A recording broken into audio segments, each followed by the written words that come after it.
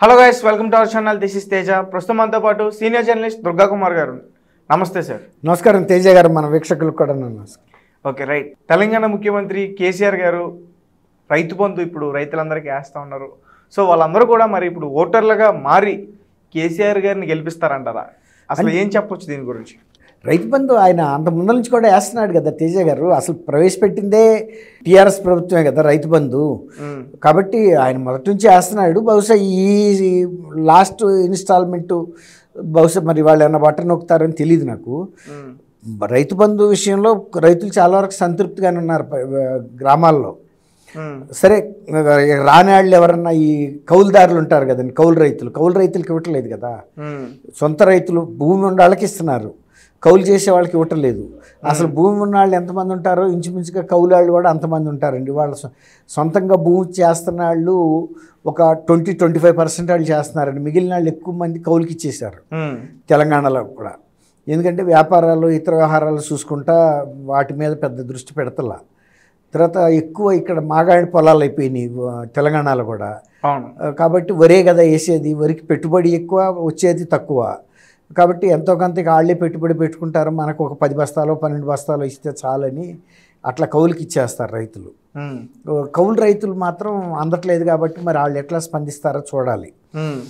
అయితే రైతు బంధు తీసుకున్న వాళ్ళందరూ ఓట్లు వేస్తారా అంటే మనం ఒక సింపుల్ ఎగ్జాంపుల్గా తీసుకోదలుచుకుంటే చంద్రబాబు నాయుడు గారు టూ థౌజండ్ నైన్టీన్లో ఎలక్షన్ రేపు పొద్దున్నే మొదలవుద్దనగా ఈరోజు రాత్రి పసుపు కుంకుమ కింద ఆడబడుచులకి ఏ, బట్టన్ నొక్కి అకౌంట్లో డబ్బులు వేసాడు పడినాయి కూడా. అవును చంద్రబాబు నాయుడు గారు. అవునండి చంద్రబాబు నాయుడు గారు. ఆ కేసునే ఉదాహరణగా చెబుతున్నా. కానీ మరి మహిళలు కూడా తెల్లారి మూడయ్యే వరకు కూడా నిలబడి ఓట్లు వేశారంటే అందరూ చంద్రబాబుకి వేశారని అనుకున్నారు. ఎందుకంటే ఆ రాత్రి ఈయన పసుపు కుంకుమ వేసాడు కదా. ఆ అభిమానంతో ఓటర్లు కదిలొచ్చారు మధ్యాహ్నం తర్వాతకి. ఆ ఎలక్షన్ అప్పుడు లాస్ట్ ఇయర్. ఆంధ్రప్రదేశ్లో. కానీ తీరా చూస్తే ఆ ఓట్లన్నీ కూడాను వైఎస్ఆర్సీపీకి పడినాయి. జగన్ అఖండమైన మెజార్టీతో గెలిచాడు. అప్పుడు చాలామంది ఏమనుకున్నారంటే ఇదేదో పోలింగ్ మిషన్స్ ఓటింగ్ మిషన్స్ని మ్యానిపులేట్ చేశాడు అనుకున్నారు. కానీ అదేం కాదండి. ప్రజలు స్వచ్ఛందంగా వేసిందే తర్వాత మీరు గమనిస్తే అప్పుడు ఈ సభలకు కూడా జనము పోటెత్తి వచ్చారండి చంద్ర జగన్మోహన్ రెడ్డి గారి సభలకి. ఎందుకు వచ్చారంటే ఆయన ఇచ్చే హామీలు అట్లా ఉన్నాయి. చాలా మంచి పెద్ద పెద్ద హామీలు ఇచ్చాడు. ఏది అసలు వెనక్కి తిరిగే పనే లేదు. ఆ హామీలన్నీ నెరవేరుస్తాడని. ఇప్పుడు సపోజ్ ఇది అనుకోండి ఇది మన సంపూర్ణ మద్య నిషేధం. ఇప్పుడు ఆ ఆడపిల్లలకి ఎంతో అది ఉపయోగమైన విషయం కదండి. కుటుంబాలన్నీ కూడా ఈ మద్యం వలన నాశనం అయిపోతున్నాయి. అది మద్య నిషేధం అని చెప్పాడు. దానికి బాగా ఆకర్షితులయ్యారు వేసినా కూడా ఇవాళకి సంపూర్ణ మద్య నిషేధం అమలు జర- జరగల. అట్లా ఆయన హామీలు చాలా ఇచ్చినప్పటికీ కూడా ఏవి కూడా పూర్తిగా కానీ అసలు కొన్ని అసలు అమలే జర జరగల. కానీ జనం మాత్రం నమ్మి ఓట్లు వేయటం వల్లనే అంత మెజారిటీ వచ్చింది కాబట్టి పథకాలు స్వచ్ఛంద ఈ ఈ సంక్షేమ పథకాలు ఎంత ఎక్కువ ఇచ్చినా అంతమంది ఓట్లు వేస్తారని కూడా ఒక్కోసారి ఉండదు. అవతల పార్టీ అంతకన్నా ఎక్కువ హామీలు ఇచ్చింది అనుకోండి మ్మ్. కొత్త పార్టీ వాళ్ళు అటువైపు మళ్ళీ మొగ్గుతారు. అట్లాగే ఇవాళ కాంగ్రెస్ కూడా చాలా పెద్ద హామీలు ఇచ్చింది. ఆరు గ్యారంటీలు ఇచ్చింది తర్వాత మహిళలకి ఫ్రీ బస్సు సౌకర్యం ఇచ్చింది తర్వాత మహిళలకి పెన్షన్ ఇచ్చింది అందరి మహిళలకి. తర్వాత ఏమో పెళ్ళికి లక్ష పదివేలు ప్లస్ తులం బంగారం. ఇలా అనేకం విపరీతంగా ఇచ్చింది. కాబట్టి అవి కూడా ఆకర్షితంగా ఉంటాయి కాబట్టి రైతుల విషయంలో కూడా ఇచ్చింది. రైతులకు ఇంకా ఎక్కువ సంక్షేమం ఇస్తామని రైతు బంధు కా రైతు బంధు కార్యక్రమం ద్వారా. అట్లా గతంలో ఎంత సంక్షేమం చేసిన ప్రభుత్వాలైనా గెలుస్తామన్న గ్యారంటీ ఇప్పుడు ఉన్న పరిస్థితుల్లో లేవండి. అవతల పార్టీలు ఇచ్చిన హామీలు అవతల పార్టీలు ఇచ్చిన హామీలను వాళ్ళు ఎంతవరకు నమ్ముతారు? ఒకవేళ నమ్ముతారు నమ్మకపోవటానికి ఏమి ఉండదు. గతంలో తెలంగాణలో కాంగ్రెస్ ప్రభుత్వ పాలన ప్రజలకు చూశారు. తర్వాత కర్ణాటకలో కూడా ఇవాళ అవి కూడా ప్రచారం చేస్తున్నారు. మేము ఇన్ని ఇచ్చిన హామీలన్నీ నెరవేరుస్తున్నామని. ఇవాళ పేపర్లో ఇక్కడ ప్రకటనలు ఇస్తున్నారు తెలంగాణలో. కర్ణాటక ప్రభుత్వం అమలు చేస్తున్న పథకాలన్నీ. అది కాంగ్రెస్ ప్రభుత్వమే కదా. వీళ్ళు ఏం చేశారంటే వీళ్ళు అధికార పార్టీ వాళ్ళు టీఆర్ఎస్ వాళ్ళు తెలంగాణ రైతు క- కర్ణాటక రైతుల్ని తెలంగాణ బార్డర్ జిల్లాల్లోకి తీసుకొచ్చి మీరు నమ్మాకండి మాకు అన్నీ కూడా విద్యుత్ విద్యుత్తు అవన్నీ చెప్పారు ఇరవై నాలుగు గంటలు విద్యుత్తు. ఏమీ అమలు చేయట్లేదు రైతులకు సంక్షేమం జరగట్లేదని ప్రచారం చేయించారు. తీరా వీళ్ళు పట్టుకుని వాళ్ళని ఒత్తిడి చేస్తే మేము రైతులం కాదు మాకు డబ్బులు ఇచ్చి రోజుకి ఐదు వందలు ఇచ్చి మమ్మల్ని రమ్మంటే మేము వచ్చామని చెప్పి వాళ్ళు ఒప్పుకున్నారు.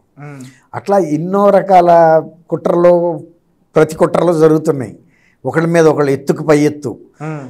కాబట్టి అట్లాగే హామీలు కూడా రెండు ఇవాళ నేను అనుకుంటాను సాయంత్రం ఇవాళ చంద్రశేఖరరావు గారు ఇంకా కొన్ని సంక్షేమ పథకాలు ప్రకటిస్తారని అనుకుంటున్నా అండి. ఎందుకంటే ఆల్రెడీ ఇప్పుడు ప్రెస్ కాన్ఫరెన్స్ పెట్టున్నారు. నిజానికి ఎలక్షన్ నోటిఫికేషన్స్ వచ్చిన తర్వాత ఇంకా కొత్త పథకాలు ప్రవేశపెట్టడం అనేది జరగకూడదు. ఏదో ఒక రూపంలో ఇండైరెక్ట్గానో డైరెక్ట్గానో ఒక మెసేజ్ వదులుతాడని అనుకుంటున్నాం. మేము చెప్పినయే మీరు అనుకోవద్దు. అంతకన్నా కూడా మా మనసులో మీకు చేయాలని ఉంది. అవన్నీ కూడా నేను ఒక తండ్రిలాగా హామీ ఇస్తున్నానని ఇండైరెక్ట్గా ఇంకా ఉన్నాయి. మా మదిలో ఇంకా చేయాల్సిన అన్న ఫీల్ ఇస్తాడని అనుకుంటున్నాను నేను. ఉమ్, ఎందుకంటే కొద్దిగా టీఆర్ఎస్కి వ్యతిరేక పవనాలుగా ఉన్నాయి కార్యక్షేత్రంలో ఆ, ఫీల్డ్లో. కాబట్టి ఆయన కూడా తన వంతు ప్రయత్నం గట్టిగా చేస్తాడు. మూడోసారి ముచ్చటగా మూడోసారి కూడా ఇవ్వమని. మీ ఒపీనియన్ ఏంటి సార్? అంటే గెలుస్తారంటారా ఈసారి? టీఆర్ఎస్ ప్రభుత్వం వస్తుందా? అంటే గతంలో రెండు సార్లు ఇంత పోటీ ఇవ్వలేకపోయిందండి కాంగ్రెస్ పార్టీ. ప్రజలు కూడా అసలు కాంగ్రెస్ పార్టీ కన్నెత్తి చూడాల. కానీ ఈసారి ప్రజలే కాంగ్రెస్ పార్టీల సభలకి బాగా స్పందించి వస్తున్నారు బాగా రిసీవ్ చేసుకుంటున్నారు కాంగ్రెస్ లీడర్స్ని కాంగ్రెస్ వాళ్ళ మేనిఫెస్టోని సభలో కూడా ప్రతిస్పందన బాగా ఇస్తున్నారు. దాన్ని బట్టి మనకు ఒక అనుమానం వస్తుంది. ఇంతకుముందు ఎప్పుడు కూడా కాంగ్రెస్ వాళ్ళని అసలు కేరే చేయలే. మీటింగులు పెట్టినా జనం రాపోవటం పట్టించుకోకపోవటం వాళ్ళ హామీలు కూడా అసలు కన్సిడరేషన్ మనసులోకి తీసుకోలే. నిర్ణయం మాకు ఆల్రెడీ తెలుగు తెలంగాణ టీఆర్ఎస్కే వేస్తామని చెప్పి. ఒక నిర్ణయం మీద ఉన్నారు కఠిన నిర్ణయం మీద గట్టిగా. కానీ ఈసారి కొంచెం మార్పు కోరుకుంటున్నారనే భావన మనకు వినపడుతుంది. అన్ని ప్రాంతాల్లో కూడా.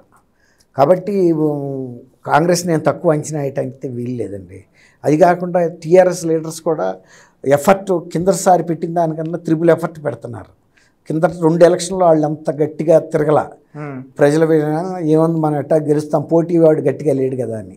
ఇప్పుడు గట్టి పోటీ ఉండేటప్పటికి అవుట్ అండ్ అవుట్ ప్రచారం చేస్తున్నారు. వస్తుంది. తిరుగుతున్నారు ప్రజలను అభ్యర్థిస్తున్నారు వేడుకుంటున్నారు.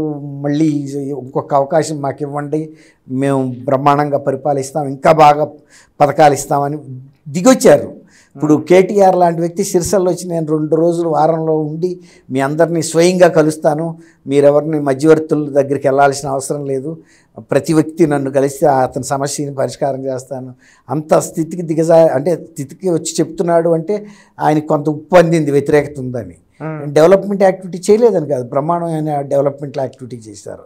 ఇప్పుడు గజ్వేల్ కానీ సిరిసిల్ల కానీ సిద్దిపేట కానీ ఇవన్నీ కూడా ఒక ఇరవై ఏళ్ళకి చేయాల్సిన డెవలప్మెంట్ ఇప్పుడే చేశారు. ఓకే. అయినా కూడా ప్రజల్లో ఒక మార్పు కోరుకునే స్వభావం అనేది ప్రకృతి సిద్ధంగా వచ్చే కోరిక. ఓకే. అది.